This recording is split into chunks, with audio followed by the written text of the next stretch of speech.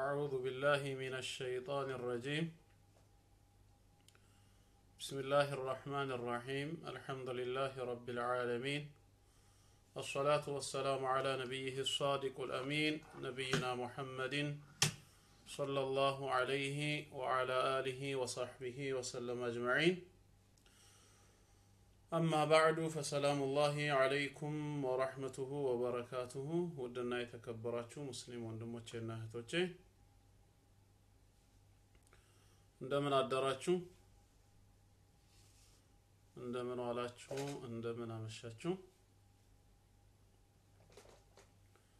ኢንሻአላህ አላህ ፍቃዱ ከሆነ ለዛሬ አጠር ያለች ቂሷ አለችን። ከነቢያችን አለይሂ ሰላቱ ወሰላም የተነገረን ኢማሙ አልቡኻሪ ረሂመሁላህ በሰሒሓቸው የዘገቡት ማለት ነው። ስለ አንድ አበዳሪና ተበዳሪ ታሪክ ከሱም ብዙ የምናገኛቸው ትምህርቶች ይኖራሉ ማለት ነው ኢንሻአላህ። ቀጥታ ወደ ቂሳው እንግባ። عن أبي هريرة رضي الله عنه عن رسول الله صلى الله عليه وسلم ከአቢ ሁረይራ ረዲየላሁ አንሁ እንደተላለፈው የአላህ መልእክተኛ አነሁ ዘከረ ረጁለን ሚን በኒ እስራኤል ከበኒ እስራኤሎች አንድን ሰው አወሱ።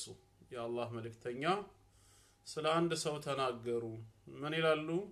ሰአለ ባዕض በኒ እስራኤል አን ዩስሊፈሁ አልፈ ዲናሪ ሌላኛውን ወገኑን ከበኒ እስራኤል የሆነን ሰው አንድ ሺህ ዲናር ያበድረው ዘንድ ጠየቀው። ፈቃል አበዳሪውም ምን ይላል? ኢእቲኒ ቢሹሃዳኢ ኡሽሂዱሁም ምስክሮችን አምጣልኝ፣ ነገ ብድሩን እንኳ አልመለስም ብትል ወይ ብትክድ አንተ ከኔ ለመበደርህ ምስክር መሆን የሚችሉ ምስክሮችን አምጣልኝ አለው። ፈቃል ተበዳሪውም ምን ይላል? ከፋ ቢላሂ ሸሂዳ መስካሪነት በአላህ በቃ ከአላህ የበለጠ ሌላ ምስክር የለኝምና አላህ ምስክሬ ነው አለው። ቃል አበዳሪውም ምን ይላል? ፋእቲኒ ቢልከፊል እሺ ዋስም የሆንህን አምጣ። ነገ መመለስ ካልቻልክ አቅሙ እንኳ ከሌለ ያንን ሊከፍልልህ የሚችል ዋስ አምጣ። ቃለ ከፋ ቢላሂ ከፊላ ተበዳሪውም ምን አለ? ዋስም በአላህ በቃ ተያዥ የሚሆነኝ ጌታዬ አላህ ነው። ስለዚህ ዋስነት በሱ ይብቃ አለው። ቃለ ሰደቅት አበዳሪውም እውነት ብለሃል አለው።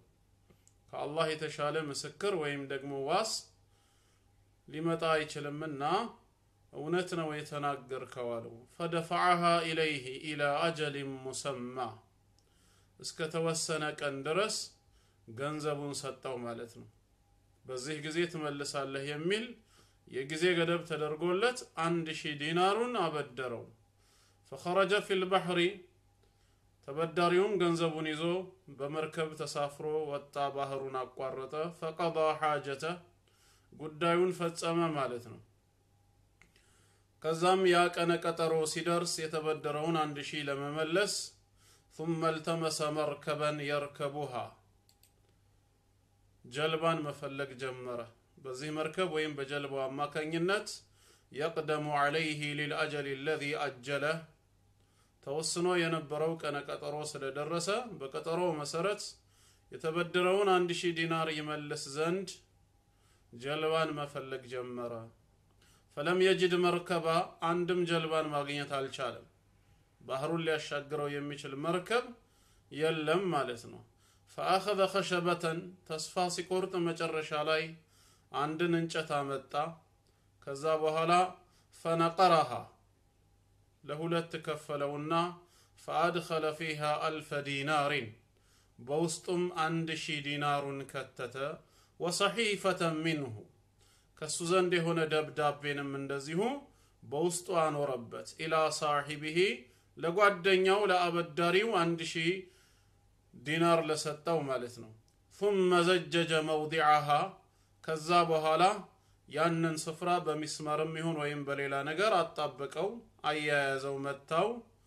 ثم አታ ቢሃ ኢላ ልባሕር ወደ ባህሩ መጣና ምን ይላል?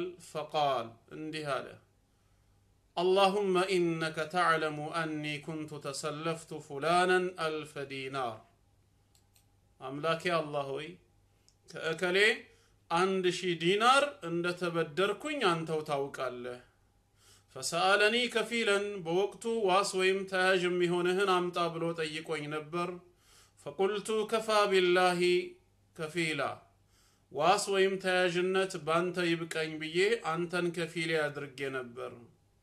ፈረድየ ቢክ እሱም ያንተን ከፊልነት ያንተን ዋስነት አምኖ ተቀበለ ወደደ።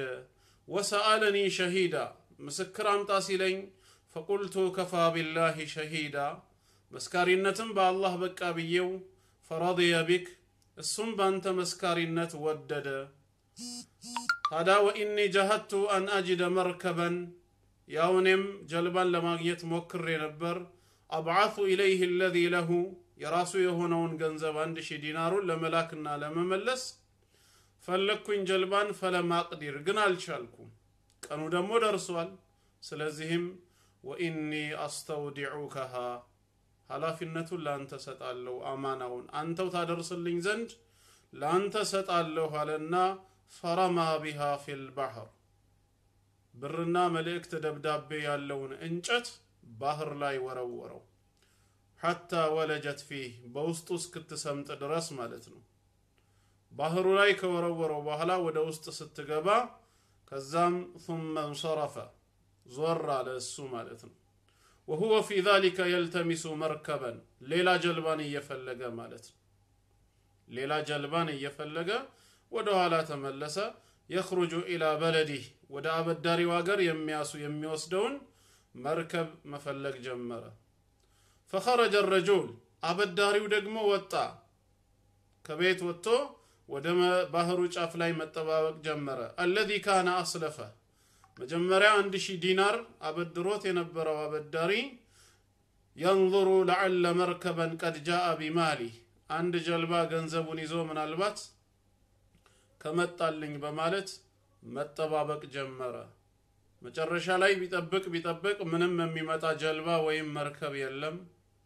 ፈኢዛ ቢልኸሸበት ለቲ ፊሃ ልማል ያቺ ገንዘብ ተከቶባት በአላህ አማናና አደራ የተሰጠችዋ እንጨት ማዕበል እያወዛወዛት ወደዚህ ጠባቂ ወይም አበዳሪ ስትመጣ ያያታል። ተስፋ በቆረጠ ጊዜ በቃ እንጨቷ ለቤተሰቤ ትጠቅመኛለች ይልና ፈአኸዘሃ ሊአህሊሂ ሐጠባ ለቤተሰቡ ማገዶ እንድትሆነው ይዟት ሄደ። እሳት ታቀጣጥልልኛለች በማለት ለማገዶ አገልግሎት እንዲሆነው ይዞት ሄደ። ፈለማ ነሸረሃ እቤት ገብቶ በሰነጠቀው ጊዜ ወጀደ ልማለ ወሰሒፋ አበድሮት የነበረውን አንድ ሺህ ዲናር እዚህ ውስጥ ያገኘዋል። ከነ ደብዳቤው ማለት ነው። ከነ መልእክቱ። ታዲያ በዚህ መሃል ثم قدم الذي كان أسلفه ተበድሮ የነበረው አካል ሌላ ጀልባን አግኝቶ ወደዚህ ጓደኛው ወደ አበዳሪው ዘንድ ይመጣል ፈአታ ቢልአልፊ ዲናር ሌላ አንድ ሺህ ዲናር ይዞ ነበር የመጣው ማለት ነው ፈቃለ ከዛም ምን አለ ተበዳሪው ይህን አንድ ሺህ ዲናር ይዞ ወደዚህ ሰው ከመጣ በኋላ ወላሂ ማ ዚልቱ ጃሂደን ፊ ጠለቢ መርከቢን ሊአቲከ ቢማሊክ ገንዘብህን ይዤ በተቀጠረው ሰዓት መሰረት ጀልባ ፈልጌ አንተ ጋር ለመምጣት በጣም ሞክሬ ነበር። ነገር ግን ፈማ ወጀድቱ መርከበን ቀብለ ለዚ አተይቱ ፊህ አሁን ከመጣሁበት ሰዓት በፊት ሊያደርሰኝ የሚችል አንድም ጀልባ አላገኘሁኝም አለው።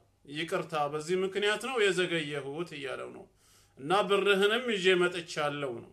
ቃል ከዛም ይለዋል ያኛው አበዳሪ የነበረው ሀል ኩንተ በዓስተ ኢለየ ቢሸይ ወደ እኔ አንዳች የላከው ነገር አለ?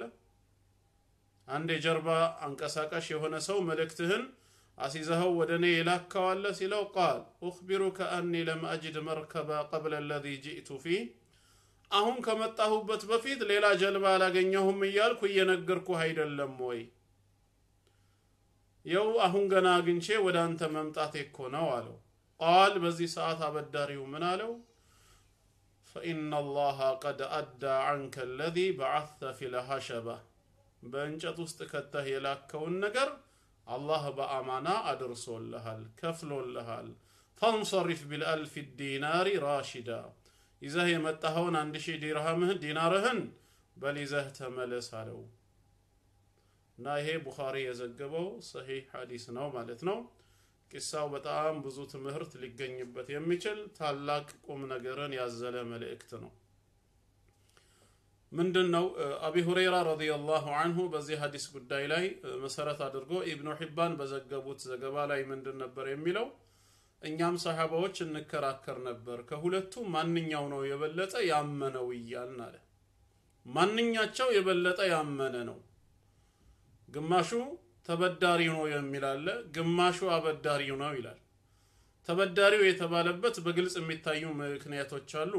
አንደኛ ምስክርና ዋስ በተጠየቀ ጊዜ ጌታውን አላህን ምስክሬ ነው እሱ ዋሴ ነው ብሎ መናገሩ ይሄ የኢማኑን ደረጃ ያሳያል። በሁለተኛ ደረጃ ደግሞ ብድሩን ወቅቱና ሰዓቱ በደረሰ ጊዜ ለመመለስ ማሰቡ የተበደረውን ነገር ይዞ መጥፋት ይችላል። መጥፋት እየቻለ አላህን ፈርቶ ያንን ለመመለስ መነሳቱ ታላቅነቱን ይገልጻል። ሶስተኛ ደግሞ ወደ አበዳሪው ሊያደርሰው የሚችልን መርከብ ወይም ጀልባ ሳያገኝ ቀርቶ በአላህ ላይ የነበረው ተወኩል ግን በእንጨቱ ውስጥ ገንዘቡንና መልእክቱን ከቶ አላህን ተማምኖ ባህር ላይ መወርወሩ ምን ያህል እንደሆነ ያሳያል። ተወኩሉ አላህ ላይ ታላቅ ነው ነው። አራተኛ ደግሞ ሌላ አንድ ሺህ ዲናርን ይዞ እንደገና ተሳፍሮ ሄዶ ብር ለመመለስ እዳን ለመክፈል ምን ያህል ጥንቁቅ እንደነበረ ማለት ነው። በአበዳሪው በኩል ደግሞ የተጠቀሰው ምንድን ነው? አንደኛ የአላህን ምስክርነትንና የአላህን ዋስነት ወዶ መቀበሉ። አላህ ምስክሬ ነው፣ አላህ ዋሴ ነው ባለ ጊዜ እውነት ብለሃል ብሎ ይህንንም ወዶ ተቀብሏል። ሰው አምጣልኝ ብሎ ሙጭጭ ብሎ አልጠየቀም። ማበደሩ በራሱ አንድ ታላቅነት ነው። እንደገና ይህንንም አምኖ መቀበሉ። ሌላው ደግሞ በተጨማሪ ምንድን ነው የሚያሳየው የአበዳሪውን ታላቅነት? እንጨት ውስጥ ያገኘውን ገንዘብ አላህ መልሶልሃል፣ እዳህን በአግባቡ ከፍሎልሃል፣ ደብዳቤህ ደርሶሃል ብሎ መናገሩ ነው። እሱስ አላየሁም ብሎ መካድ አይችልም ወይ? የደረሰኝ እንጨትም የለም ምንም ነገር የለም ብሎ ድጋሚ ሌላ ሺህ ዲናሩን መውሰድ አይችልም ነበር ወይ? እና ሁለቱም በየራሳቸው angle ጠንካራ የሆነ ጎን አላቸው ማለት ነው። እና እንደዚህ አይነት ታሪኮች ብዙ ትምህርቶች እንወስድባቸዋለን። ምን ምንድን ነው የምንማረው ከተባለ አጠር ለማድረግ ያክል በዚህ ቂሳ ውስጥ ምን እናገኛለን? አንደኛ መሽሩዕየቱ ተዓውኑ በይነ ናሲ ዐለ ልኸይር ወልቢር በሰዎች መካከል በመልካም ነገርና ጥሩ በሆነ በሚጠቅም ነገር ላይ መተባበር ሸሪዓዊ መሰረት ያለው እንደሆነ ማለት ነው። ማበደር፣ መበደር በተለይ የተቸገረ አካል ካለ ገንዘቡ ያለው ሰው ሊያበድር ይገባዋል። ማበደር በራሱ አጅር አለው ማለት ነው አላህ ዘንድ ትልቅ አጅር አለው። ስለዚህም በሰዎች መካከል መበዳደር መኖሩ መልካምነት እንዳለው እንረዳለን። ሁለተኛ ሌላ ከዚሁ ቂሳ ምንድን ነው የምንማረው? ወፊህ ጠለቡ ሽሁድ ፊደይን እዳን ወይም ደግሞ ብድርን ለሰዎች በምንሰጥ ጊዜ እኛም በምንቀበልበት ጊዜ ምስክር መጥራት ሸሪዓዊ መሰረት እንዳለው ምስክርን አምጣልኝ ብሎታል በሐዲሱ መሰረት። እንደዚሁም ደግሞ ወጠለቡል ከፊል ከፊልንም አምጣ ብሎታል ዋስ የሚሆን ስለዚህ ዛሬም ምስክር መጠራቱ ዋስ መጠራቱ ምንም ችግር የሌለው ሸሪዓዊ መሰረት ያለው ተግባር መሆኑን ከዚህ ቅሷ እንማራለን ማለት ነው። ይሄ በተለይ መቼ ነው የሚወደደው? ሰዎች እዳን በመመለስ በኩል ስንፍና ውስጥ ከገቡ ነገሩን እንደ ቀላል አይተውት የተበደሩትን ነገር የማይመልሱ ከሆነ ነገ የባሰ ወንድማማችነት እህትማማችነት እንዳይቋረጥ ጠላትነት በመካከላችን እንዳይሰፍን ምስክሮችና ዋሶች መጠራታቸው አግባብነት ያለው ነው። ሶስተኛ ደግሞ መጻጻፍ ማለት ነው። እዚሁ እግረ መንገድ በውስጥ ታዋቂነት እዳ በምንበደርበት ጊዜ ልንጽፍ እንደሚገባን እንረዳለን። ከቁርአን ውስጥ ረጅሙ አየት ተብሎ የሚጠራው በሱረቱል በቀራ ላይ የሚገኘው 282ኛው አየት አየቱ ደይን የሚባለው ይህንኑ ነው የሚያሳየው። አዑዙ ቢላሂ ሚነ ሸይጣን ረጂም ያ አዩሃ አለዚነ አመኑ إذا تداينتم بدين إلى أجل مسمى فاكتبوه እስከተወሰነ ጊዜ ድረስ በእዳ ከተዋዋላችሁ ያንን እዳ ጻፉት ነው የሚለው አላህ ጻፉት ወልየክቱብ በይነኩም ካቲቡን ቢልዓድል ከመካከላችሁ ጸሐፊ የሆነ ሰው ካለ ፍትሃዊ በሆነ መልኩ ይጻፍ ነው የሚለው መጻጻፍ አስፈላጊ ነው ነው አንዳንድ ሰዎች ሲበዳደሩ ለምን አትጻጻፉም ሲባሉ እንተማመናለን አንካካድም ይላሉ። መጻጻፍ እኮ የሚያስፈልገው ላለመካካድ ብቻ አይደለም። እውነት እንደተባለው አበዳሪም ተበዳሪም የሚተማመኑ ከሆነ አላህን ፈሪዎች ሆነው የማይካካዱ ከሆነ ይሄ አንድ መልካም ነገር ነው። የአላህ ተውፊቅ ነው ኸይር ነው። ነገር ግን ጽሁፍ የሚያስፈልገው ላለመካካድ ብቻ አይደለም ሌላም ችግር አለ እንደ ሰውነታችን። ይሄኛውን ችግር በአላህ ተውፊቅ አልፈን የምንተማመን ከሆነ ሁለተኛው ችግር ምን አለ? መርሳት የሚባል በሽታ አለ። አንረሳም ወይ? አበዳሪ ያበደረውን ሊረሳ ይችላል ወይ ደግሞ ተበዳሪ መበደሩን ሊረሳ ይችላል። በዚህ መርሳት ሰበብ በመካከላቸው ምን ይፈጠራል?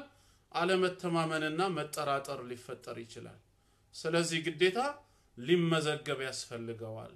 መጻጻፍ እጅግ በጣም መልካም ነው ነው። አንረሳምም የሚባል ከሆነ ሌላ ሶስተኛ ችግር ይከሰታል። መሳሳት የሚባል ነገር። ሀምሳ የነበረውን አምስት መቶ ወይ አምስት መቶውን አምስት ሺህ አድርጎ ማሰብ። መሳሳትስ አይከሰትም? ይከሰታል። ከነዚህ ነገሮች ልንሸሽ አንችልም ማለት ነው። ፍጹም ምሉእነት ባህሪያችን ስላልሆነ ስለዚህ በተቻለ መጠን መጻጻፉ ከብዙ ስህተቶች ይጠብቀናል። በመካከላችን ያለውን መተማመንን አያደፈርሰውም ማለት ነው። እናም ከነዚህ ሁለት ሰዎች ታሪክ ይሄንኑ ትምህርት እንማራለን ማለት ነው። አራተኛ አሁንም ምንድን ነው የምንማረው? ወፊህ ፈضሉ ተወኩል አላላህ በአላህ ላይ የመመካትን ደረጃ ትሩፋትን ምን ያህል ታላቅ እንደሆነ እናያለን ወአነ መን ሰሐ ተወኩለሁ ተከፈለ አላሁ ቢነስሪህ ወዐውኒህ አላህ ላይ ትክክለኛ የሆነ ተወኩል ያለው ሰው አላህ በማገዝና በመርዳት ኃላፊነቱን ይወስድለታል ይሄ ተበዳሪ አላህ ላይ በነበረው ተወኩል ምክንያት ከአንድ ባህር ጫፍ እስከ ሌላ ባህር ጫፍ አላህ በሞገዱ አማካኝነት ለባለቤቱ እዳውን አደረሰለት ምን ያህል የቂን ቢኖረው ነው ሰዎች አላህ ላይ ባላቸው ተወኩል ልክ ምድራዊ ፍላጎቶቻቸውም እንደዚሁ የዛን ያህል ይሳካላቸዋል። ጥንት ለነሱ ይሰራ የነበረው አላህ ዛሬም ለእኛ ይሰራል። ቁም ነገሩ እኛ ትክክለኛ ሙስሊሞች አላህ ላይ የምንወከል ሁነን መገኘቱ ነው። ከዚህ ታሪክ ይሄን ነው የምንረዳው ማለት ነው። አምስተኛ አሁንም ምን ትምህርት እናገኛለን ቢባል አማናን የመጠበቅ ጉዳይ። ተበዳሪም በዛው እንደተበደረ ሳይጠፋ አበዳሪም የደረሰውን መልእክት አልደረሰኝም ብሎ ሳይክድ ሁለቱም አላህን በመፍራት አማናን መጠበቃቸው ምን ያህል የኢማናቸውን ታላቅነት እንዳስረዳን እኛም ዛሬ ይሄንን ልንጠብቅ ይገባል። በተለይ የሰው ዕዳ ከሰው ሐቅ ጋር የሚገናኝ ነገር በተውበት የሚሰረዝ ነገር አይደለም።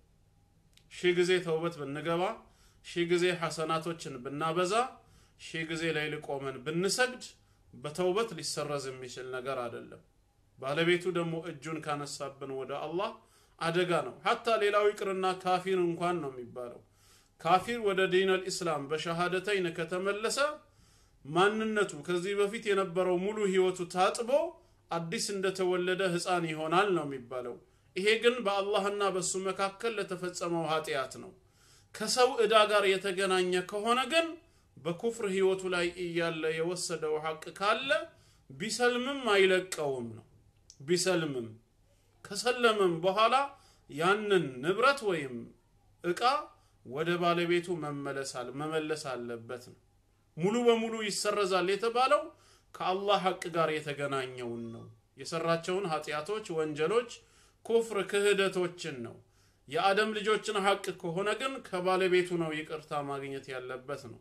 ስለዚህም ከሰዎች ላይ እዳ ካለብን ቶሎ ብለን መመለስ አለብን ካልቻልንስ ጊዜ እንዲሰጡን መጠየቅ አለብን እስከተወሰነ ጊዜ ድረስ። ያንንም የማንችል ከሆነስ ሐቂቃ ካልቻልን ይቅርታን ከነሱ መቀበል አለብን። አይ መመለሱን እችላለሁ፣ ነገር ግን ያበደረኝ ሰው በአሁን ሰዓት በህይወት የለም ወይ የድሮ ቤቱን አጥቼዋለሁ፣ ብፈልገው ወደዛ ወደዚህ ብል ላገኘው አልችልም ከተባለስ በትክክል ሊገኝ የማይችል ከሆነ የሆነ ቀን ካገኘሁት ብሩን ወይም ንብረቱን እመልሳለሁ ብለን ነይተን አሁን ግን በዛ ሰውዬ ስም ሰደቃ ማውጣት አለብን ለሱ እንዲደርስ። ሞቶ ሊሆን ይችላል ወይ እንደተባለው ፈጽሞ ላናገኘው እንችላለን። ስለዚህም በሰውየው ስም ሰደቃ ማውጣት ልክ እሱ በህይወት እንዳለስ እያለ እንዳወጣው እንዲቆጠር ማለት ነው። የሆነ ቀን ግን ከተገናኘን እመልስለታለሁ በሚል ንያ የእዳ ነገር በጣም ከባድ ነውና ማለት ነው። ሌላው ደግሞ የአላህ ወልዮች ያው የሙእሚኖችን ከራማም እዚሁ ላይ እንረዳለን። ከራማቱ ለአውሊያ በሚባለው እናምናለን። የአላህ ወልዮች አላህን አምነው የትም ስፍራ ሆነው እሱን የሚፈሩ ሰዎች እንደ ኢማናቸው እንደ ተቁዋቸው መጠን አላህ ከራማን ይሰጣቸዋል። ከነቢያት ሙዕጂዛ የማይወዳደር የሆነ እንደ ኢማናቸው ግን ተመጣጣኝ የሆነ ከራማ ይሰጣቸዋል። ይኸው ይሄኛውን ከአንድ ባህር ጫፍ እስከዛ ጫፍ አላህ በሰላም ማድረሱ ለሰውየው የተደረገለት ከራማ መሆኑን ያሳያል ማለት ነው።